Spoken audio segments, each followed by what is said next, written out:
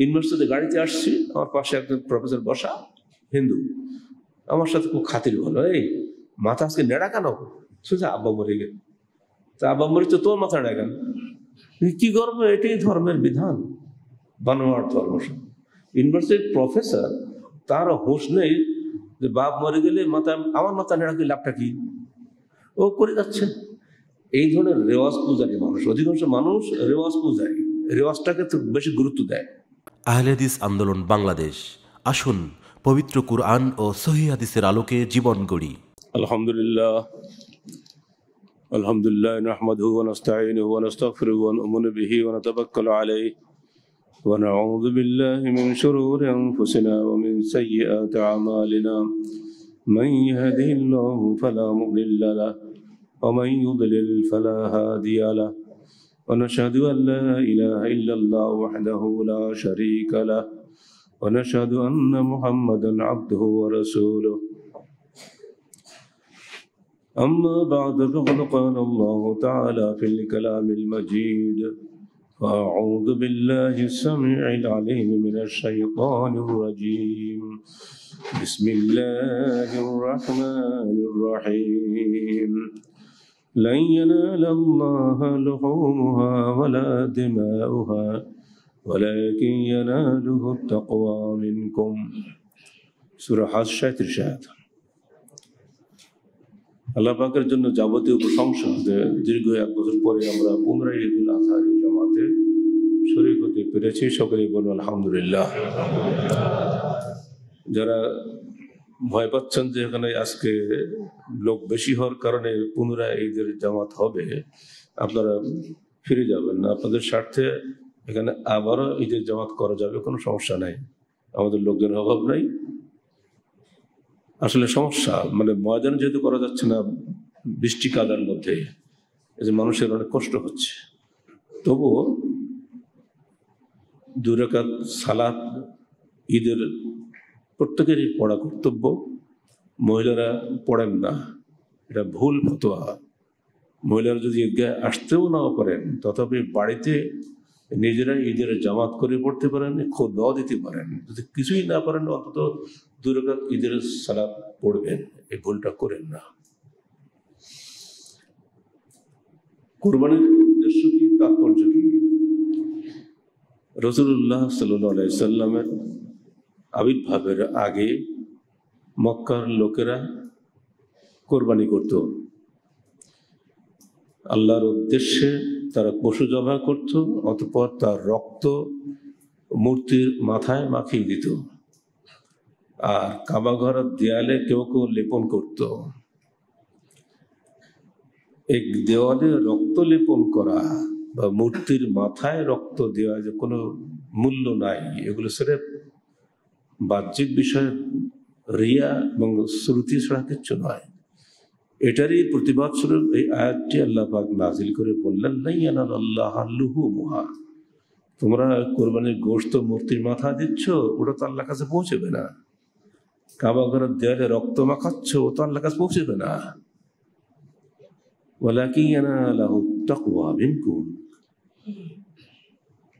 বরং পৌঁছবে আল্লাহর নিকটে তোমাদের তাকওয়াটুকুই মাত্র আল্লাহ বিরুদা আল্লাহকে বাদ দিয়ে মূর্তির মাথা গোস্ত দিয়ে লাভ কি? মূর্তি থেকে শোনো না দেখো না বোঝো না।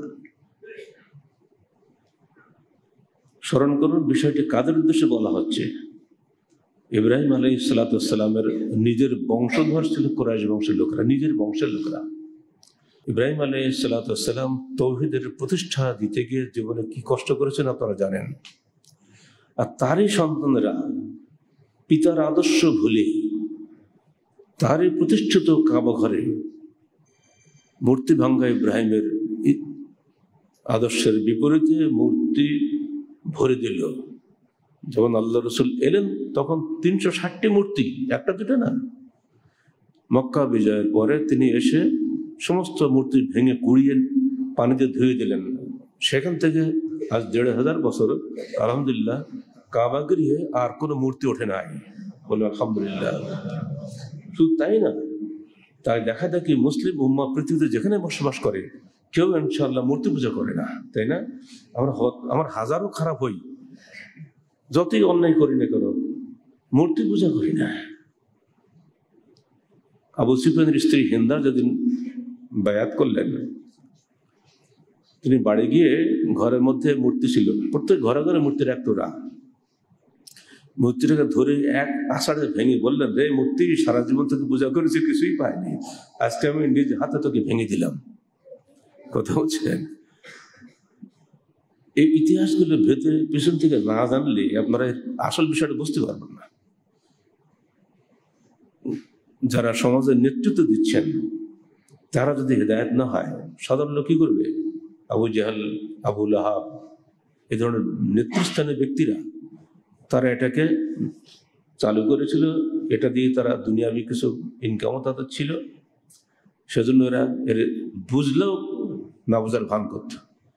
রিস্ক না নিলে কোনোদিন কোনো সফলতা আসে না। আল্লাহ তো নবীকে পাঠিয়ে তাকে দিয়ে চূড়ান্তভাবে রিস্ক নিয়েছিলেন। এরপরে তিনি বাধ্য হলেন হিজরত করতে মক্কা থেকে মদিনায়। আল্লাহর হুকুমে তিনি মদিনায় গেলেন। সেখানে গিয়ে দেখলেন তারা বছরে দুদিন উৎসব পালন করে। তিনি বললেন, তোমরা এটি কেন করো? তারা বলল, আমরা বাপদাদার আমল থেকে করে আসছি, বছরে দুদিন আমরা আনন্দ উৎসব করি। তিনি বললেন, দেখো, আল্লাহ তোমাদের জন্য এর চেয়ে উত্তম দুটি উৎসব দান করেছেন। তিনি তাদের স্রেফ বস্তুবাদী চেতনাকে, তৌহিদি চেতনায় পরিবর্তন করে দিলেন। নিছক খেলাধুলার বদলে তিনি সেখানে সালাত ও তকবীরের পবিত্রতা জারি করলেন। আপনার সকাল থেকে তকবির শুনছেন না? এই তকবীরের ধ্বনি, গাছপালা, ধুলা, বালি, আলো, বাতাস যেখানে যতদূর পৌঁছাচ্ছে, সবাই কালকে আমাদের মাঠে আপনাদের জন্য সাক্ষী দেবেন ইনশাআল্লাহ। এই পবিত্রতা মুসলমানদের মধ্যেই আছে আর কোথাও নাই। আল্লাহ আকবর, ব্যতীত আপনি আর যত কিছুই বলেন, কোনোটাই আল্লাহ কাছে পৌঁছবে না। আল্লাহ আকবর অর্থ কি? আল্লাহ সবার চেয়ে বড়। কবির না, সবার চেয়ে বড় তার উপর কেউ নাই। অথচ আগে ছিল নেতা সবার চাইতে বড়, আবু জাহেল সবার চাইতে বড় আবুল্লাহ সবার চাইতে বড়। বিএসমিল্লাহ বলো উজ্জা বলতো তারা। কোনো কাজ করতে গেলে বলতো লা তো উজ্জার কসম করে আমি এই কাজটা করছি। বিসমিল্লাহ উজ্জার বদলে আসলো বিসমিল্লাহ, আল্লাহর নামে। তারা অল্লাহ হবল বলে জয়ধ্বনি করত। তার পরিবর্তে আসলো আল্লাহ আকবর। কথা বলছেন এই জন্য বেশি বেশি তকবির ধ্বনি করার মাধ্যমে এবং সেই সঙ্গে এই যে আমরা সালাদ পড়লাম না সালাদ সালাত এবং তকবিরের পবিত্রতা তিনি যোগ করে দিলেন বস্তুবাদী চেতনার স্থানে। ঈদুল ফিত্রের দিন তিনি ঈদের সাথে সাথে সদকাতুল ফিতর আদায়ের নির্দেশ দিলেন যাতে জনকল্যাণের মাধ্যমে মানুষের অন্তরে মানসিক তৃপ্তি লাভ হয়। আপনি দান করলে মনে তৃপ্তি পান না? খুব ভালো লাগে। দিতে পারলাম আল্লাহ আমাকে দেওয়ার তৌফিক দিয়েছেন সবাইকে তো আল্লাহ দেয়নি। যে আল্লাহ আমাকে তৌফিক দিয়েছেন কিছু দান করা দান করার পরে যে মনে কত ভালো লাগে, আল্লাহ রসুল এই মানসিক তৃপ্তি যোগ করে দিলেন। ঈদুল আজহার সময় তিনি বলে দিলেন, ইব্রাহিমী আনুগত্যের সাথে ইসমাইলি আত্মত্যাগকে তিনি যোগ করে দিলেন। সর্বোপরি এই দিন তকবির ধ্বনির মাধ্যমে গবাদি পশু আল্লাহর নামে জব করার মাধ্যমে শিরককে চিরতরে দুনিয়া থেকে বিদায় করে দিলেন। কাবা ঘরে বিসমিল্লাহ লজ্জা বলে কোনো জবাই আর কোরবানি আর হয় না। এখন যাই হয়, আল্লাহ আকবর বলেই হয়, মক্কা, মদিনা পৃথিবী সর্বত্র আল্লাহ আকবরের ধ্বনি চলছে। আপনারা গতকাল থেকে হজ দেখছেন। মুসলমানদের ঈদ মূলত সাতটা। একটা হলো সাপ্তাহিক জুমার ঈদ, আরেকটা হলো দুই ঈদ, কটা হলো? তিন। আরেকটা হলো আইএমএ তশ্রিকের তিন দিন, অর্থাৎ দশই জিলহজ আজকে এগারো, বারো, তিন দিন। আপনারা খানা পিনার দিন, কত হলো? তিন তিন, ছয়। আর একটা হলো হজের দিন, সবচেয়ে বড় উৎসব বিশ্ব মুসলিমের ঐক্যের। সবচেয়ে মূল মিলন কেন্দ্র হচ্ছে আরাফাতের ময়দান। এই সাতটা দিন ইসলামের অনুমোদিত উৎসবের দিন। আর বাকি যা কিছু আমরা করি, এগুলো আমাদের তৈরি করা। বেদাতিরা বলে ঈদ মিলাদ নবী হচ্ছে সবচেয়ে বড় ঈদ। যদি সারা দুনিয়ার লোক র্যালি করে চিৎকার দিয়ে বলে এটাই বড় ঈদ। যেহেতু আমার রসুল এটা বলেননি, আমরা কি সেটা মানবো? অথচ পাক্কা মুসলমান বলে দাবি করছি আমরা, আমরাই পাক্কা মুসলমান, তোমরা কি? তোমরা তো লামোজাবি। জি হ্যাঁ আমরা লামোজাবি। কোরআন এবং হাদিসকে অগ্রাধিকার যদি লামোজাবি হতে হয়, একশো বার লামোজাবি হব, কিন্তু কোরআন হাদিস ছাড়বো না। এটাই হচ্ছে ইসলামের মূল স্পিরিট। এই স্পিরিটটা জাগিয়ে তুলেছিলেন পিতা ইব্রাহিম আলাই সালাতাম তার নিজের বংশের লোকদের কাছে তিনি নির্যাতিত হয়েছিলেন। তাই বাংলার কবি নজরুল গেয়েছেন মা হাজরা হোক, মায়েরা সব জবিহুল্লাহ হোক, ছেলেরা সব সব কিছু যাক, সত্য হোক বিধির বিধান সত্য হোক। আমাদের মায়েরা হাজরার মতো মা হন। আমাদের ছেলেরা জবিহুল্লাহ ইসমাইলের মতো সন্তান হও। সত্যের জন্য, আল্লাহ প্রেরিত তহিদ ও সুন্নার জন্য জীবন দাও। সব যায় যাক। বিধির বিধান সত্য হোক, অর্থাৎ তৌহিদ সত্য হোক। জীবন কয়দিনের জন্য? আজ আছে, কাল চলে যাবে। কিন্তু তৌহিদকে বাঁচিয়ে রাখতে হবে, কোনো শিরিক চলবে না। আমার সন্তান এই অবস্থায় এমন অবস্থা যে মরে যাবে। আমাকে বলা হচ্ছে, তুমি অমুক কবরে মানত করো, তোমার সন্তান সেরে যাবে। আমি কি বলব? পরিষ্কার বলল, কবরের কোনো ক্ষমতা নেই, ক্ষমতা আল্লাহর হাতে। যিনি রোগ দেন, তিনি আরোগ্য করেন। আমি এই মুহূর্তে আপনাদেরকে একটা দুঃখের খবর শোনাচ্ছি। আমাদের চাপাই দক্ষিণের সেক্রেটারি গতকালকে সন্ধ্যায় অ্যাক্সিডেন্ট করে পড়ে আছে। সে আমাকে কানতে কানতে ফোন করছে, স্যার, এখন আমি ঈদগাহে যাব কি করে? ওঠার ক্ষমতা নাই। আর তো বেঁচে আছো তো? হ্যাঁ স্যার, বেঁচে আছি। দোয়া করলাম তার জন্য, আপনারাও দোয়া করেন যেন আল্লাহ তাকে দ্রুত সুস্থতা দান করেন।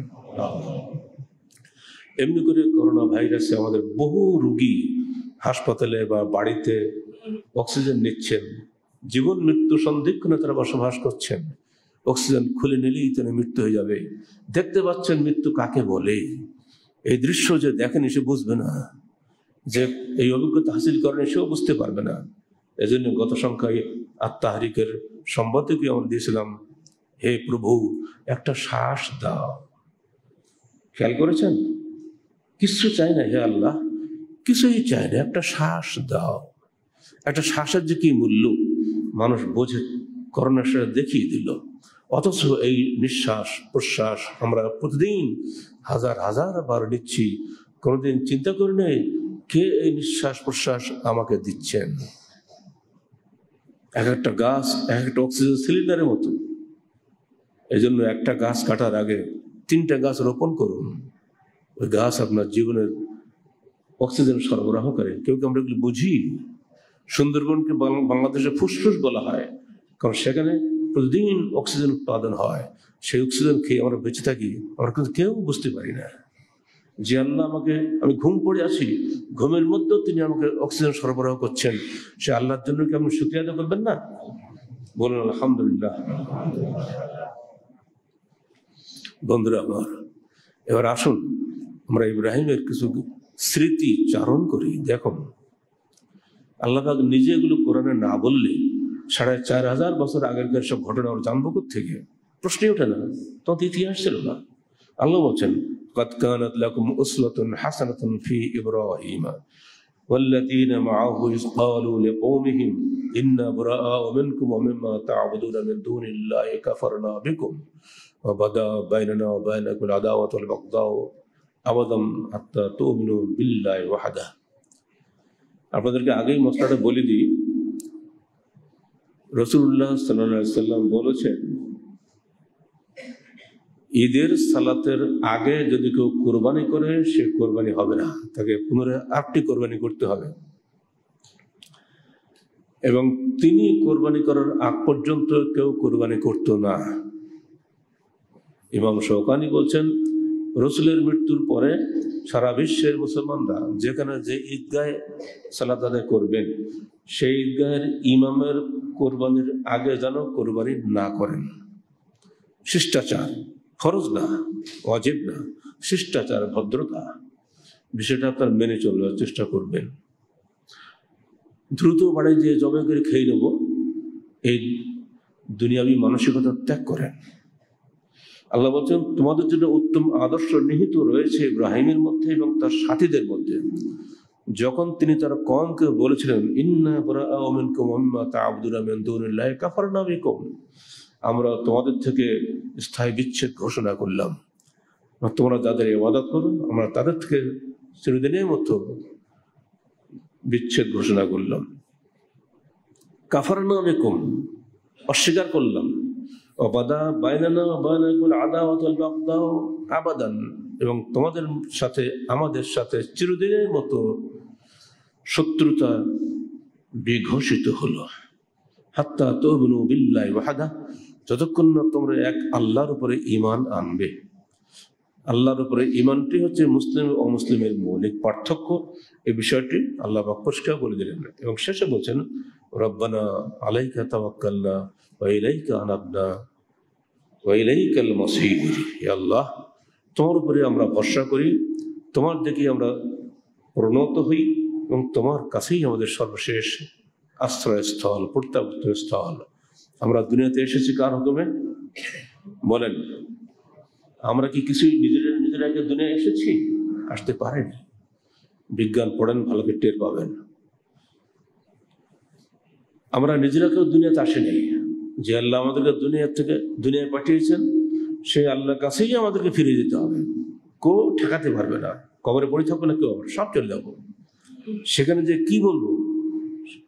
সেই পাথর সংগ্রহ করাটি আমাদের মৌলিক দায়িত্ব। ইব্রাহিম যে যুগে এসেছিলেন ইরাকে, তখন সে যুগের সামাজিক অবস্থা ছিল এই যে মানুষের মধ্যে দুটো গ্রুপ ছিল। অথবা একই মানুষ দুইটা পূজা করত। মূর্তি পূজা তারকা পূজা এবং তিনি যে ঘরে জন্মগ্রহণ করেছিলেন, তার বাপ ছিলেন ইরাকের সম্রাট নমরুদের মন্ত্রী এবং দেশের প্রধান পুরোহিত। তারই সন্তান ইব্রাহিম। তিনি দেখলেন, আব্বা, আপনি কি করছেন?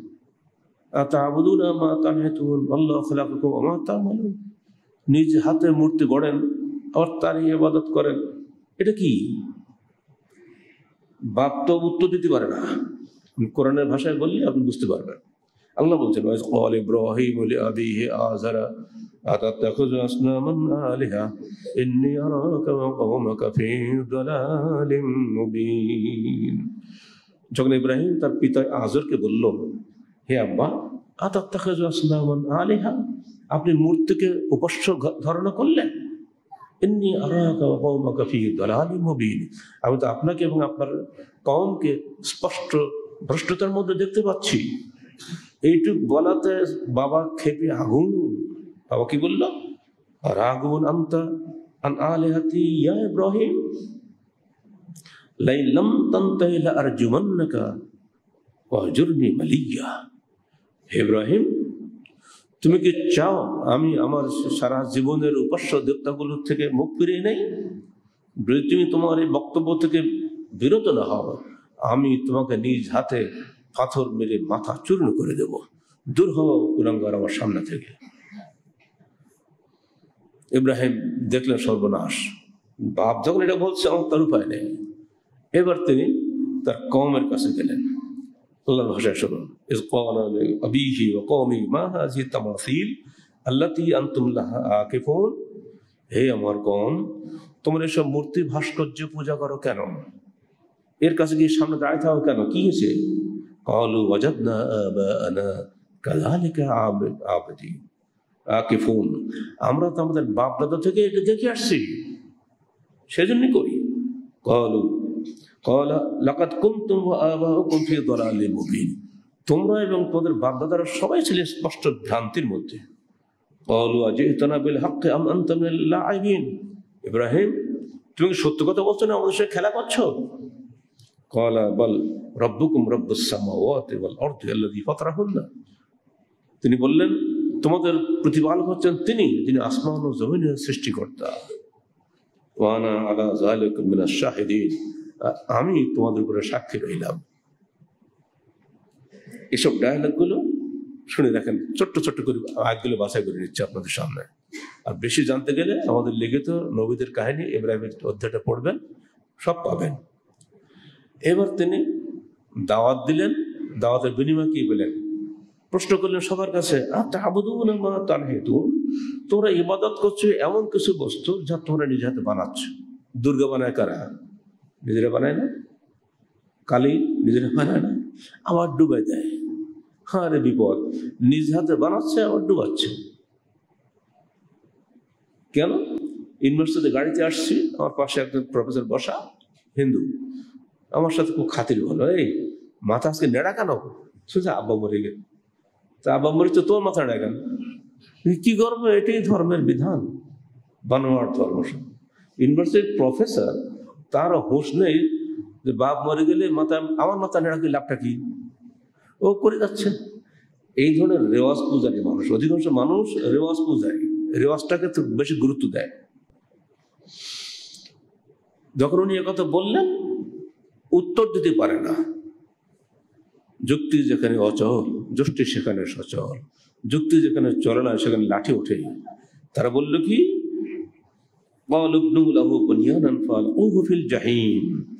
এই, তোমার একজন বড় একটা অগ্নিকুণ্ড তৈরি করো, সেখানে ছুঁড়ে ফেলে দাও। চারদিকে দেওয়াল উঁচু করে মাঝখানে আগুন জ্বালিয়ে ইব্রাহিমকে সেখানে ছুঁড়ে ফেলে দেওয়া ফারাদু বি কায়দান ফাজা আল্লাহ বলছেন, ওরা তাকে হত্যা করার জন্য কত ষড়যন্ত্র করল, কিন্তু আমরা তাদেরকে একেবারে ব্যর্থ করে দিলাম। কি করলাম তো আপনারা জানেন? আল্লাহ আগুনকে বলে দিলেন অকুল্লা ইয়া নারো কুনি বারদাও ওয়াসালামান আলা ইব্রাহিম। সঙ্গে পড়ে যান, নাকি পাবেন প্রতিটা হরফের দশটা রেখে কিন্তু পাবেন কুল্লা ইয়া নারো কুনি বারদাও ওয়াসালামান আলা ইব্রাহিম। কি চমৎকার ভাষা। আমরা বললাম, হে আগুন কোনই বারদাও, তুমি ঠান্ডা হয়ে যাও। শুধু ঠান্ডা নয়, বরফের মতো ঠান্ডা না, সালামান শান্তিদায়ক ঠান্ডা হও। আলা ইব্রাহিম ইব্রাহিমের উপরে বাস আগুন ঠান্ডা হয়ে গেল ইব্রাহিম দিব্য বেরিয়ে আসলেন গুল বাগিচা থেকে উঠেই তো বললি আমরাও কবি ইকবাল গেয়েছেন আজ भी हो फिर इब्राहिम का ईमान पैदा आ कर सकती है गुलिस्तान पैदा আজও যদি ইব্রাহিমের ইমাম হয় পয়দা হোতা শোনে ফের সৃষ্টি হবে শান্তির গুল বাগিচা। ইব্রাহিমকে যখন নিক্ষেপ করা হচ্ছে, ইব্রাহিম কি বলেছেন? হে সম্রাট, আমার প্রাণ ভিক্ষা দাও। ন। তিনি বললেন হাসবুন আল্লাহ অনেমাল ওকিল হাসবুন আল্লাহ আমার জন্য আল্লাহ যথেষ্ট। তিনি কতই না সুন্দর কর্মবিধায়ক। দোয়াটা বললেন, সঙ্গে সঙ্গে আল্লাহ নির্দেশ দিলেন। এই দোয়াটাকে আমাদের পড়তে হবে না? আমাদের জন্য আল্লাহ যথেষ্ট। কোনো অভাবে, কোনো কষ্টে, কোনো রোগে, কোনো অসুখে, কোনো স্থানেই আমরা আল্লাহ ব্যতীত কারও কাছে সাহায্য চাইব না তবে হ্যাঁ দুনিয়াবি বিষয়ে ভাই ভাইকে পরস্পর সাহায্য করার মধ্যে নেকি আছে। আল্লাহ ফি আউনিল আব্দে, মা আপনার আব্দ ফি আউনি আখিহে। আল্লাহ তার ভাইয়ের সাহায্যে থাকেন তখন ভাই তার সাহায্যে থাকে। এরপরে উনি দেখলেন তার এই দেশে থাকা যাবে না। তিনি বললেন আমি চললাম আমার প্রতিপালকের দিকে সত্তর, তিনি আমাকে সুপথ প্রদর্শন করবেন। গেলেন, কোথায় যাবেন? দিশাহীন যাত্রাপথে ইব্রাহিম চলেছেন। হঠাৎ তার চিন্তা হলো, আমি তো মরবো, আমার এই নবুয়তের মিশন কে চালাবে? তিনি দোয়া করলেন, আল্লাহ রব্বে হাবলি আল্লাহ, তুমি আমাকে একটা সৎকর্মশীল সন্তান দাও। আল্লাহ তার দোয়া কবুল করলেন অবসর না হবে গোলামিন হালি আমরা তাকে সুসংবাদ দিলাম একটা ধৈর্যশীল সন্তানের জন্য। দুটো ছেলে ওনার, একটা ছেলেকে বলা হচ্ছে গোলামিন হালিম আর ছোট ছেলে ইসাহাকের সম্পর্কে বলা হচ্ছে যে গোলামিন আলিম। ইসাহাক নবী হয়েছিলেন, তাকে বলা হচ্ছে বিজ্ঞ। আর ইনিও নবী হয়েছিল কিন্তু দেখেন বলা হচ্ছে ধৈর্যশীল। কেন তা পরে জানা গেল, যখন তাকে জবাই করার ব্যবস্থা হলো আর তিনি ধৈর্য ধারণ করলেন তখন বোঝা গেল আল্লাহ পাক এই ভাষাটা কেন আগেই ব্যবহার করেছিলেন فلما بلغ معه السعي قال يا بني إني أرى في المنام أني أذبحك যখন ছেলে চলাফেরা করতে শিখলো বাবার একটু সাহায্য করা শিখলো তখন তিনি স্বপ্ন দেখলেন একবার দুবার তিনবার আমরা যারা হজ করি আট তারিখে মক্কা থেকে বেরিয়ে আহ, মিনার দিকে যাই না কেন যাই আট তারিখে আট তারিখে ইব্রাহিম স্বপ্ন দেখলেন। ওকে বলে ইয়ামুত্তর বিয়া স্বপ্ন দেখার পরে বলে, কেমন হলো? ছেলেকে জবাই করতে হবে? আর তো কিছু নেই, একটাই ছেলে বুঝি আমার। পরদিন আবার স্বপ্ন দেখলেন। ও নিশ্চিত হলেন, না, এটাই আল্লাহর নির্দেশ। নিশ্চিত হলেন বলে ওদেরকে বলে এমে আরাফা। আরাফা মানে উনি নিশ্চিত হলেন যে আমাকে আমার ছেলে করার জন্য নির্দেশ দেওয়া হচ্ছে। তৃতীয় দিন আবার করবেন, একই স্বপ্ন দেখলেন। তখন তিনি বললেন, না, তাহলে আর উপায় নেই। ওটাকে বলে এমন নাখার। কোরবানের দিন। আজকে কিন্তু সে আমাদের কোরবানের দিন। কথা বলছেন এই তৃতীয় স্বপ্নের বাস্তবতা হচ্ছে এমন নাহার গতকালকে সৌদি আরবে এমন নাহার হয়ে গেছে। আজকে চাঁদের কারণে আমাদের বাংলাদেশে আজকে এমন নাহার হচ্ছে। প্রসঙ্গ করে বলে রাখি, চাঁদের আকৃষের কারণে যে কম বেশি হয়, অনেকে মানতে চায় না একে দিনে সিয়ামিত করবে একে দিনে আরাফা করবে একে দিনে সব করবে। কিছু পাগল জুটে গেছে, কি করবে? মনে রাখবেন, চন্দ্র পশ্চিম দিক থেকে পূব দিকে যায় আর সূর্য পূব দিক থেকে পশ্চিম দিকে যায়। আমরা চাঁদ দেখি পশ্চিম দিকে না? পূব দিক দেখি? আচ্ছা আমরা সালাদ পাড়ি কোন দিকে ফিরে? পশ্চিম দিকে ফিরে না? কেন? তো কাবা আছে পশ্চিম দিকে। তাহলে আমরা কাবার পূর্ব দিকে আছি। সূর্য পূব থেকে পশ্চিমে যায়। আর চন্দ্র পশ্চিম থেকে পূর্বে যায়। এই চন্দ্র যেখানে যে এলাকা যায়, সে এলাকার আশপাশে পাঁচশো ষাট মাইল এলাকা, ওই আলোতে তারা শ্যাম ঈদ করতে পারে। বাংলাদেশ একটা ছোট্ট দেশ। সর্বপূর্বে ওই কি বলে, থানচি উপজেলা, তাই না? আর সর্বপশ্চিমে চাঁপাইনবাবগঞ্জ, শিবগঞ্জ উপজেলা। সরাসরি সরল রেখা করলে মাত্র তিনশো আটাত্তর মাইল। আর উত্তর দক্ষিণ তো আরও অন্য অবস্থা। এখানে যে স্থানেই আপনি চান দেখবেন, পাঁচশো ষাট মাইল সারা বাংলাদেশ, পাঁচশো ষাট মাইল হবে না। সেখানেই আপনি পুরো বাংলাদেশে ঈদ করতে পারবেন এটা কোনো সমস্যা নেই। আর বড় কথা হচ্ছে, আল্লাহ রসুল বলছেন, সুমু ইয়ামাতা সুমুন অফতরু ইয়ামাতা অফতরুন তোমরা সবার সঙ্গে সিয়াম রাখো, সবার সঙ্গে সিয়াম ভাঙো। একজন আলাদা ময়দানে গিয়ে বেশি ইমানদারি দেখাবেন, এটা হবে না, নিষেধ আছে। এই বিষয়টা মনে রাখবেন সহজ হয়ে যাবে ইসলাম খুবই সহজ এই বুঝটা হলো মুশকিল আমাদের যাকে তো তিনি কোরবানি করলেন উনি ভাবছেন আমি ছেলে কোরবানি করছি কিন্তু না যখন তিনি ছেলে কোরবানি উদ্যত হয়েছে ফালাম্মা আসলামা ওয়াতাল্লাহু লিল জাবিন ওয়ানাদাইনাহু আইয়া ইব্রাহিম قد صدقت الرؤيا إنا كذلك نجزي المحسنين হে ইব্রাহিম ঠান্ডা হও আর না কৎসদ্দাক্তর রইয়া তুমি তোমার স্বপ্নকে সার্থক করেছো ইন্না কাদালিকা নাজিল মোহসেনিন আমরা এইভাবেই সৎকর্মশীলদেরকে উত্তম প্রতিদান দিয়ে দেখি ইব্রাহিম তাকে দেখেন যে পাশে দুম্বা দাঁড়িয়ে কি ব্যাপার হ্যাঁ আমরা তার এই স্বপ্ন সার্থকতার কারণে উত্তম পুরস্কার দিলাম মহান কোরবানি দ্বারা। সেই মহান কোরবানিটা কি? দুম্বা। দুম্বা, ছাগল, ভেড়া, যেটাই আপনারা দেন, এটা মনে রাখবেন, এটা কিন্তু সেই ইসমাইলি কোরবানি। এজন্য আমার রসুল সবসময় আস্ত পশু দিয়েছেন। তিনি বকরি দিয়েছেন, দুম্বা দিয়েছেন, খাসি দিয়েছেন, অন্যদিকে যেতেন না। কারণ আমার বাপ ইব্রাহিম কে আল্লাহ পছন্দ করেছেন, দুম্বা দিয়ে। আমি তাই দেবো। তিনি তাই দিতেন। যদিও জমুর ওলামাইকেরাম বলছেন গোস্ত বন্টনের দিক দিয়ে খেয়াল করলে উঠ উত্তম তারপর গরু, তারপর ছাগল, এটা অন্য বিষয়। কিন্তু তাকওয়ার সর্বাধিক নিকটবর্তী হলো ছাগল। কথা হচ্ছে, আল্লাহ রসুল এটা করে গিয়েছেন। বিদায় হজের সর্বশেষ নির্দেশনা মৃত্যুর একাশি দিন পূর্বে তিনি জীবনে একবারই হজ করেছিলেন। সেখানে তিনি নির্দেশনা দিলেন, ইয়া ইয়া নাস, ইন্না লিকুল্লি আহলে বাইতিন, আলা কুল্লি আহলে বাইতিন ফি আমিন উযহিয়া। হে জনগণ, মনে রেখো প্রতি বছর প্রত্যেক পরিবারের জন্য একটি করে কোরবানি। ঠিক যেভাবে ইব্রাহিমের কোরবানি ছিল একটা জীবন্ত পশু রসুলের কোরবানি মদিনাতে সারা জীবন তিনি একটা করে জীবন্ত পশু দিয়েছেন, বা একটা বা দুটা, এবং শেষ নির্দেশনা তার একটা করে পশু দেওয়া।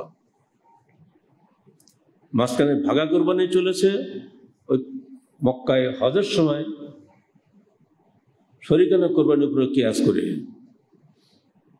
জন্য সহজ হয়েছে সেজন্য, যাতে একজনে তো গরু জবাই করা যায় না একজন তো উটু জবাই করা যায় না, লোক লাগে না। সফরের ক্ষেত্রে এটা খুবই উন্মতের জন্য রহমত স্বরূপ। কিন্তু মদিনাতে কখনই আল্লাহ রসুল ভাঙা কোরবানি করেন নাই সাহাবেকেরা করতেন না।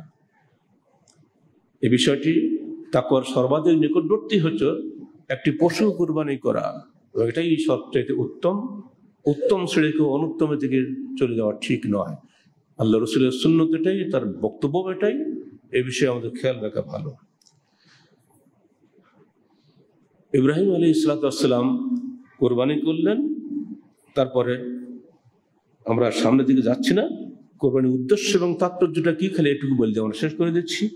কোরবানির মূল উদ্দেশ্য ছিল পিতা ইব্রাহিমের তাকুয়া ও আনুগত্যের পরীক্ষা। আসলে কি আল্লাহ চেয়েছেন যে ইব্রাহিমকে সেলি কোরবানি করুক? আল্লাহ তো ফোকা না। ইব্রাহিম কিন্তু ভাবছিল, আমি সেলি কোরবানি করছি। কিন্তু আল্লাহ চাইছে, না, আমাদের ছেলে চাইনি, আমি চাই ওর আল্লাহর প্রতি আনুগত্যের কোরবানি। তাতে পিতা এবং পুত্র উভয়ই জয়লাভ করেছেন, তাই না? ইসমাইলি আনুগত্য আর ইব্রাহিমের তাকুয়া দুটোই জয়লাভ করেছে। বিশ্ব ইতিহাসে এর কোনো তুলনা নাই। আর আমার রসুলকে বলছেন? ওমর তো বিয়মিল আজহা জাআলাউল্লাহ ঈদ আল্লি হাজিল উম্মা রসুল্লাহ সাল্লাহ সাল্লাম বলছেন, আমি আদিষ্ট হয়েছি ঈদুল আজহার দিন কোরবানি করার জন্য। কারণ আল্লাহবাক এটাকে উম্মতে মোহাম্মদের জন্য ঈদ হিসাবে কবুল করেছেন। বলুন, আলহামদুলিল্লাহ। তাৎপর্য কি? মোমেনের হৃদয়ে আল্লাহর রাহে জীবন উৎসর্গ করার জাজবা সৃষ্টি করা। আল্লাহ রসুল বলছেন, মান কান যার সামর্থ্য আছে, অথচ কোরবানি করল না, সেজন্য ঈদগাহ নিকটবর্তী না হয়। ধমক। আপনি কিন্তু করতে চাচ্ছিলেন না, কিন্তু এই হাদিসটা যখন মাথায় এসে গেছে না, সব কোরবান কোরবানি করতে পারবেন না কেন? কোরবানি করলেন, সবসময় মনে রাখবেন, এই কোরবানি আপনার হৃদয়ে আল্লাহর বাস্তে জীবন কোরবানির চাষবাস সৃষ্টি করে দিল। এটা কিন্তু অন্য কোনো মানুষ পায় না। দুই নম্বর, ইব্রাহিমের ত্যাগ পুত পূর্ণ স্মৃতিকে জাগিয়ে তোলা। যখনই কোরবানি করবেন মনে রাখবেন, এটা আমি ইব্রাহিমের ত্যাগ আমি করছি। ইব্রাহিম তার ছেলের গলা ছুরি চালিয়েছিল। আমি আল্লাহর হুকুম মোতাবেক পশুর গলা ছুরি চালাচ্ছি মূলত ওই ত্যাগের আদর্শে উজ্জীবিত হওয়ার জন্য। তিন, উত্তম খানা পিনার মাধ্যমে সমাজে আনন্দের ফলগুধারা বইয়ে দেওয়া। আজকে মুসলমানদের ঘরে ঘরে উত্তম খানা পিনা হবে। সবাই আনন্দের সঙ্গে একসঙ্গে বসবে, খাবে। কি ভাই ভাই মহব্বত সৃষ্টি হবে, হিংসা বিদ্বেষ থাকবে না। এই চমৎকার এই সমাজ পৃথিবীর মানুষকে তাকিয়ে থেকে দেখে, এটা কি? মুসলমানদের মধ্যে এত সুন্দর সমাজ আছে? নিজের চাইতে অন্যকে খাওয়ানোর মধ্যে আনন্দ বেশি, তাই না? নিজে খাব সারা বছর ফ্রিজ ভরে, এ তো বকিলটাই করে। যত দিবেন, তত বেশি নেকি পাবেন। সবচেয়ে বড় কথা হলো, ভোগের বিপরীতে ত্যাগের মাধ্যমে আল্লাহর অনুগ্রহ লাভ করা। যত ত্যাগ করবেন, তত আল্লাহর অনুগ্রহ লাভ করবেন। আর সব শেষে শেরকের বিরুদ্ধে তৌহিদের বিজয়া ঘোষণা করা। আমরা যত তকবির বলব, ততই তার উত্তর হবে। শেরকের বিরুদ্ধে তৌহিদের ঘোষণা করা। আকবর আকবর আল্লাহ আল্লাহ আকবর আলহামদুলিল্লাহ কাসীরা আসীলা সজীব নিশ্চিব ঘাস, পালা, কাদা, যা কিছু দেখছেন, আলহামদুলিল্লাহ সবাই কে আমাদের মাঠে আপনার এত বীরের সাক্ষী দান করবে। আল্লাহ আমাদের সাক্ষী দান করেন। আমরা যেন সেদিন মাহরুম না হই। আল্লাহ মাক্কি জীবনে আমার রসুলকে নির্দেশ দিচ্ছেন। বল ইন্নানি হাদানি রব্বি ইলা সিরাতিল মুস্তাকিম দীনান কিয়ামান মিল্লাত ইব্রাহিম হানিফা ওয়া মা কানা মিনাল মুশরিকিন কুল ইন্না সালাতি ওয়া নুসুকি ওয়া মাহইয়ায়া ওয়া মামাতি লিল্লাহি রাব্বিল আলামিন লা শারীকা লাহু ওয়া বিযালিকা উমিরতু ওয়া আনা আউয়ালুল মুসলিমিন সূরা আনআম নাযিল হয়েছে মক্কায় সেখানে নির্দেশ দিচ্ছেন তার রসুল কাল্লা বল তুমি বলো ইন্নানি হাদানি রব্বি আল্লাহ পাক আমাকে, আমার প্রতিপালক আমাকে হেদায়ত দান করেছেন ইলা সিরাতে মুস্তাকিম, সরল পথের দিকে। কি? দিন মিল্লাত ইব্রাহিম হানিফা। পিতা ইব্রাহিমের মিল্লাতের সরল দিনের প্রতি আমি পথ প্রদর্শন আমাকে করা হয়েছে। আমা কান আমি মুর্শিকিন ইব্রাহিম কখনো মুর্শেক ছিলেন না। উল ইন্না সলাতি। বলুন তো আমার সাথে। قل إن صلاتي ونسكي ومحياي ومماتي لله رب العالمين لا شريك له وبذلك أمرت وأنا أول المسلمين কি চমৎকার ইতিহাস পরিবর্তন করার পরে এর চেয়ে চমৎকার কোনো আয়াত আমাদের কাছে লাগে না আয়াত সমর আয়াতের চমৎকার কিন্তু এটা যে এমন সুন্দর মক্কি জীবনে নির্যাতিত মোহাম্মদের মুগ্ধে এই আয়াত বেরোকে কল্পনাই করেনি বল তুমি বলো, ইন্না সালাতি অলসকি আমার সালাত, আমার কোরবানি, আমার জীবন, আমার মরণ সব কিছু বিশ্ব প্রতিপালক আল্লাহর জন্য নিবেদিত। লা তার কোনো শরিক নাই, আমি এই ব্যাপারে আদিষ্ট হয়েছি। ওয়ানা মুসলিমিন। আমি মুসলমান মধ্যে প্রথম। আমাদের মুসলিম উম্মার প্রথম ব্যক্তিকে আল্লাহ রসুল্লাহ তিনি তো মূল নেতা। তার আগে থেকে আমরা জানাতে যাব না। এই জন্য বলা হচ্ছে আনা আউ্বাল মুসলিমিন আমি মুসলমানদের প্রথম অগ্রণী এখানে বলা হয়েছে প্রথমে ইন্না সলাতি আমার সলাত এরপরে কোরবানি আমাদের ছেলেদেরকে বলছে বিশেষ করে অনেকে সালাদ পড়েন না অভ্যাস নেই মা বোনদের মধ্যেও তো অভ্যাস নাই দয়া করে এই মেনে চলবেন প্রথম হচ্ছে আপনাকে সালাত নিয়মিত আদায় করতে হবে সালাত আগে তারপরে যে কোরবানি সালাত নাই তো কোরবানি কি হবে সালাদ মানুষের নৈতিকতার উন্নয়নের চাবিকাঠি। কোরবানি মানুষের ত্যাগের চাবিকাঠি কৃপণতা দূর করার জন্য চাবিকাঠি। আমার ইউ কাশা খানাফসি ফাউলায় কেমন মুফলে হন যারা হৃদয়ের কার্পণ্য থেকে নিজেকে বাঁচাতে পারল তারাই হলো সফল কাম। অতএব এরপরে আমার হাইয়া ইয়া, আমার জীবন পুরো জীবনটাই থাকবে আল্লাহর জন্য। আর মামাতি আমার মৃত্যুর পরে যে ওসিয়ত আমি করে যাব সেটাও হবে আল্লাহর জন্য। অর্থাৎ আমার জীবনের যত কাজ, জামির আমাল বীর নসুক মানে শুধু করবেনই না, জীবনের যত সৎকর্ম আমি করব, সবকিছু হবে আল্লাহর জন্য। আর মাহাইয়া ইয়া আমি জীবনে যত আমল করব, কাজ করব, সব সৎকর্মই করব, অসৎ কর্ম করব না, অন্যায় কর্ম করব না। আজকে যে বাংলাদেশের কিশোর গ্যাং কিশোর গ্যাং প্রায় দেখছি পত্রিকা দেখেন না? ছোট ছোট ছেলেগুলি সব মানুষ খুন করে, খেলনা মনে করে। খুন ধর্ষণ চলছে, নারী নির্যাতন এমন পর্যায়ে পৌঁছে গেছে তাকে তুলনাহীন শাসনও নাই, নৈতিকতাও নাই।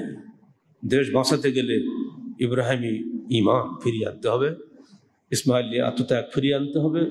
আমাদের তরুণ বংশধরকে অবশ্যই নিয়মিত পাশ্চাত্য সালাতে অভ্যস্ত হতে হবে। তাদেরকে আল্লাহর পথে জীবন দেওয়ার জন্য উজ্জীবিত হতে হবে।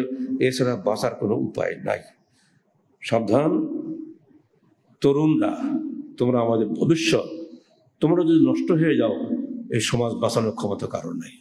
আর একবার যদি সমাজে পর্নোগ্রাফে ঢুকে পড়ে জেনাবের ভিতরে ঢুকে পড়ে, সে আগুন ঠান্ডা করার ক্ষমতা কোনো আইন কারণ কিচ্ছু করতে পারবে না, একবার কিছুই হবে না।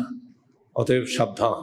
কবি নজরুলের কথা মনে রাখেন, ওই খুনের খুঁটিতে কল্যাণ কেতু লক্ষ্য ওই তরুণ, আজ আল্লাহর নামে জান কোনবারে ঈদের উদ্বোধন ওরে হত্যা রয়া সত্যাগ্রহ ঈদের উদ্বোধন তিনি বলছেন, আমরা কোরবানির সময় পশু হত্যা করি না।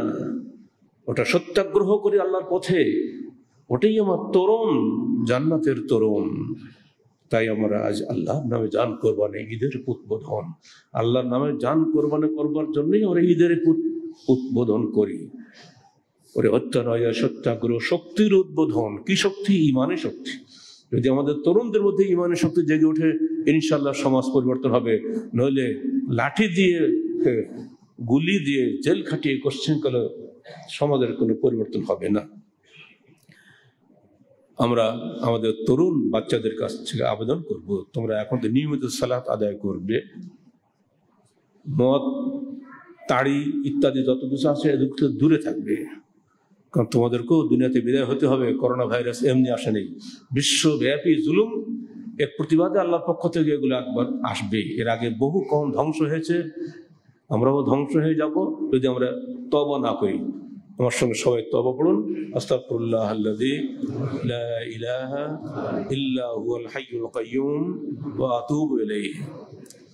কোরবানি করবেন সব কাজই পারবেন না। নিজে এক ভাগ খাবেন, প্রতিবেশী যারা কোরবানি করেন তাদের এক ভাগ দিবেন, আর এক ভাগ ফকির, মিসকিন, সাহেলদেরকে দিবেন। আপনাদের দানের খুব সুযোগ এখানে রয়েছে, মার্কাজে পাঠিয়ে দেবেন। রেখে দেবে এখন তেতুমিন বাড়ি চলে গেছে, কদিন পরে আবার আসবে। ওরা খাবে, আপনাদের সন্তান, তারা আপনাদের খানা খেয়ে আপনাদের জন্য দোয়া করবে। প্রত্যেকেই যেন সব নিজে খাওয়ার চিন্তা করেন না। আল্লাহ আমাদের সবাইকে দিনে হকের উপরে দৃঢ় থাকার তৌফিক দান করুন। ঈদ উল আজহার চেতনায় উজ্জীবিত হওয়ার তৌফিক দান করুন। ইব্রাহিম ইসমাইলের মতো আমাদের এবং আমাদের সন্তানদেরকে আল্লাহ পাক করে তুলে তৌফিক দান করুন। যারা অসুস্থ এবং পীড়িত আছেন, হাসপাতালে বিভিন্ন রোগে বাড়িতে, সবাইকে আল্লাহ পাক দ্রুত আরোগ্য দান করুন। আকুল কলি হাজা আস্তাকুল্লাহ আলী ওয়ালাকুম আলী সাহারি মুসলিমিন। আসসালামু আলাইকুম রহমতুল্লাহ বারাকাতুহ।